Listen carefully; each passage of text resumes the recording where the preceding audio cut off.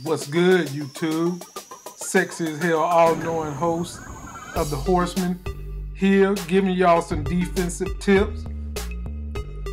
Left B gap pressure in the 3 4 defense. I know y'all love that, especially y'all cheaters from New York up there. We ain't gonna let y'all get back there on third and forever and just stand back there and do whatever the hell you want to do with the ball. Horsemen of Madden, NC. Don't forget to like this video, comment, subscribe. Let me know what you think about this play in the description box.